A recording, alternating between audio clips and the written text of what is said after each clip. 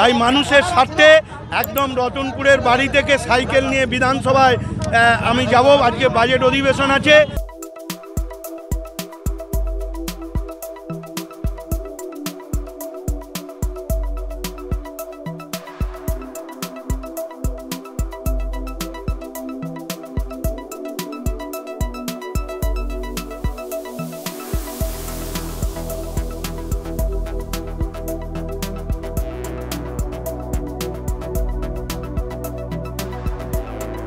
কষ্ট আমরা বরাবরই করি। এ কষ্ট ভয়ঙ্কর মানুষের জন্য এ কষ্ট করতে হচ্ছে।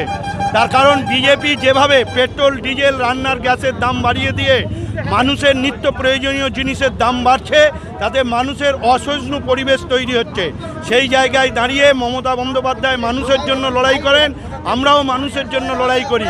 তাই মানুষের স্বার্থে একদম রতনপুরের বাড়ি থেকে সাইকেল নিয়ে বিধানসভায় আমি যাব। আজকে বাজেট অধিবেশন আছে।